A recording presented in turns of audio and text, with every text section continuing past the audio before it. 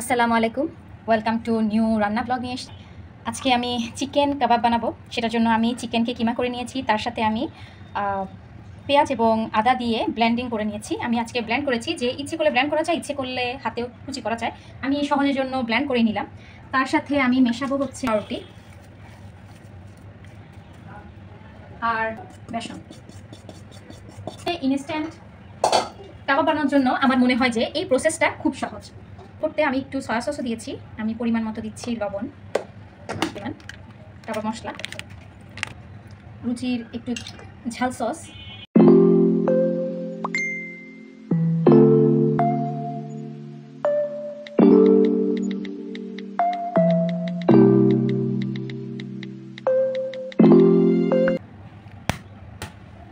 বাইন্ডিংয়ের জন্য আমি একটি ডিম অ্যাড করে দিচ্ছি।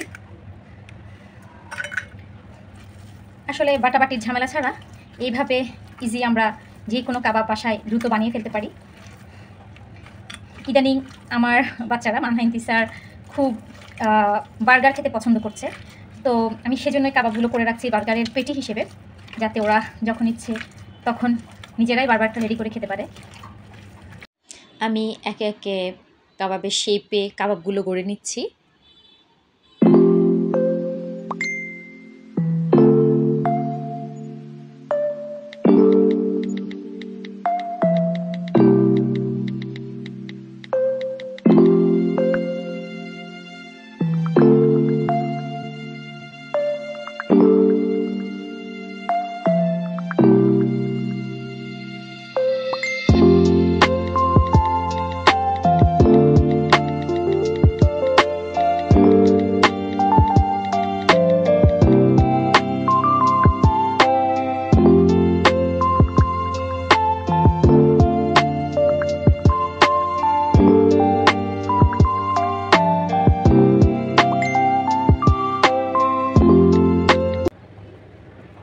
এগুলো এরপর ডুবো তেলে ভাজি করে নেব।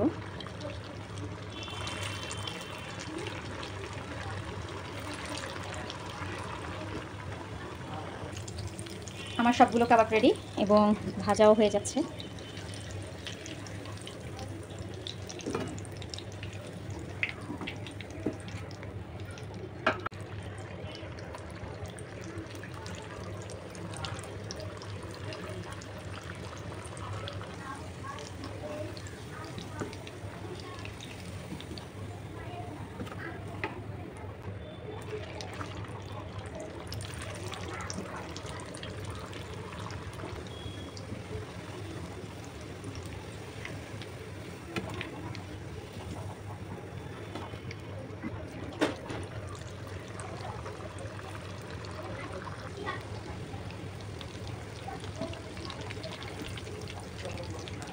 আমার সবগুলো কাবাব ভাজা হয়ে গেছে।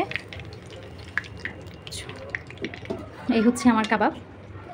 আজকের মতো আল্লাহ হাফেজ।